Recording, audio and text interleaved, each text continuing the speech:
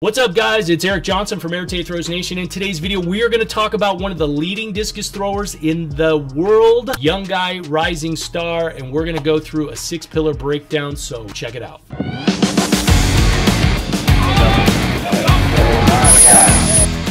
Alright guys, so, so today's video we are going to talk about Kristjan Ceh, the Slovenian superstar in the men's discus. At age 22, this guy had already thrown 70-35. This is this throw here we're going to kind of take a look. Now we're kicking it off because early season 2022, this guy has put up uh, an opening mark of over 67 meters in what was a winter competition, um, a little bit colder weather, all that kind of stuff. So this guy is like phenomenal. Um, fifth at the Olympic Games, world number two in 2021 in terms of distance. So this guy's consistency level is off the charts. The number of 69, 68, 67 meter throws was just unbelievable. And the guy had an off day throwing 65 plus at the Olympics and he got fifth place. So the guy is really exciting. Now, again, clearly we don't coach Kristjan and we are just going to kind of plug him in and take a look at his throw. So let's play it and let's just watch his movement. Now this guy is six nine and he is crazy talented, right? So um, here's what we're going to do. Just look, he just gets an incredible amount of pull, big wingspan, really athletic, killer line across the circle. And so now what we're going to do is let's break it down and look at his six pillars. So again, we talk about pillar one. We want to be on balance. We want, in our system, we really want to talk about being, setting up how the throw is going to work. And again, notice that the key things here are we're setting up the separation and stretch reflex. We want to stay more centered up. So we always want the shoulders moving around the hips, right? So that nice long double radius, I call it. The discus is long and away, and the left arm is long and away. So the balance arm, right? Because if you're a lefty, it's your right arm. All right, so now you're going to notice that he hinges in, and this is what we've had an old YouTube video called the Holy Grail, Pillar 2. So when you hit this position, right, this is where you're trying to move out and around the axis. Look at how long, right, the left arm is. You see everything as he floats in here. And so we're kind of highlighting this is what we call pillar two. Now, again, remember our six pillar system is a way of teaching the throw and quickly learning unnatural positions. The throw happens fast. You saw when I played that throw in the very beginning, the guy moves lightning. He's six nine. he's pulling on that discus for days. And when you're developing new throwers, that's one of the key things, understanding this. But even as they get more advanced, now you're just moving through those positions faster. We always talk about two seconds. Well, remember, this guy, when he gets that discus back to the time it releases out of his hand, we're talking probably 1.35, 1.4 seconds, and a brand new throw is going to be about two seconds. So you spend all this time. That's the difference between a beginner and a more advanced guy. You're hitting these positions with much more detail and speed. Okay, so here's what do we look at? We move around the axis. We keep the shoulder back, the discus back, and this sweep leg is going to come out nice and wide. If you're on balance, which you see, right, you start to set up movement around that axis. So it's more than just position here and put your leg out. It's understanding that actions are creating reactions. That's the physics. That's what we do with our throwing chain reaction, and that's what the six pillars are all about is to help you kind of see the throw and be able to apply unnatural positions, train unnatural positions, and make them more natural. And everybody's got a different learning curve.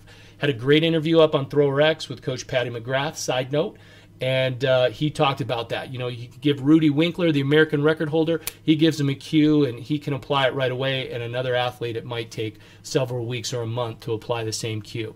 Well, that's why Rudy Winkler is the American record holder, and that's the difference with a lot of these athletes. They're phenomenal. They're freaks. They're the they're the apex. So keep that in mind and be patient because everybody's got a different learning curve. Okay, so now when we look at Kristjan, right? We set all that up. Big position, and he's moving around. Now you're going to see that pillar three. That sweep stays wide. Look at how long. In the discus, remember, the left arm is a counterbalance to the discus.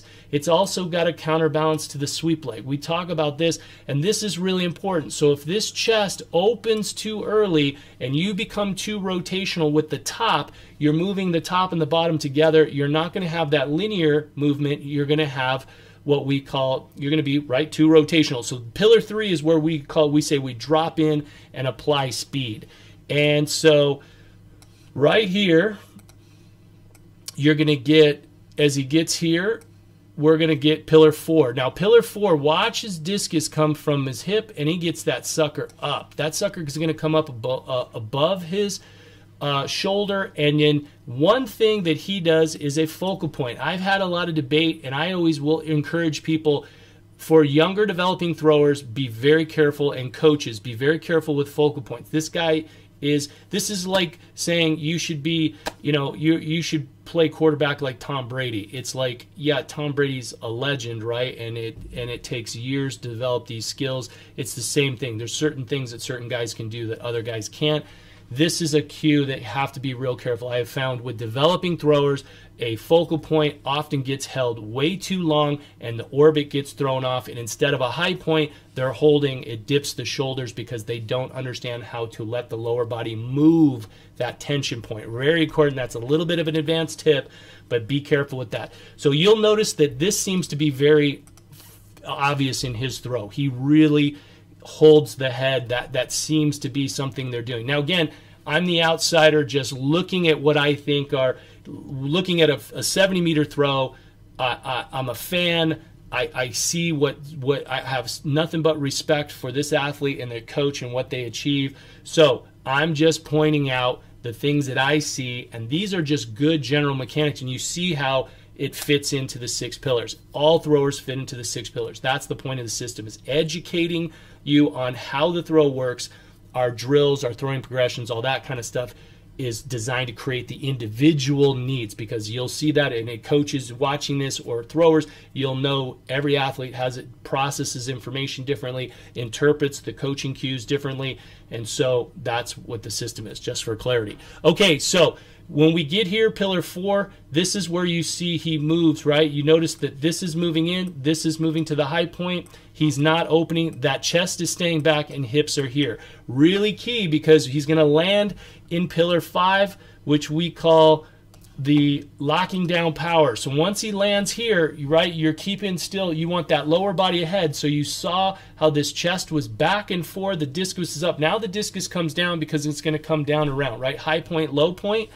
And so now you're going to see he's really starting to lead with that lower body into the throw.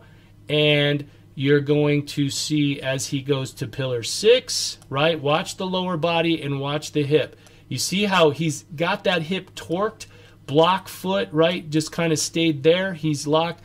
This side stops because it, when the radius is out here, right, you're going to see this should naturally stop. If you've maximized the radius and this hip turns around, this is here, this should stop. I see a lot of throwers, they pull away from the throw because they're pulling back. The radius is not correct. When the radius is long, everything's going to go out into the direction of the throw, and that's what's going to set up your big throws. And this is where you see the jump. So you see how as he follows through, all of his motion goes out. Yes, his this side's turning away because there's what we call as transfer of momentum, where you're going to transfer all of the body speed to the implement, but you want to see out. You see a lot of young throwers at this point, they're pulling away. So they're like turning like this instead of turning like this, right? That's how he's turning.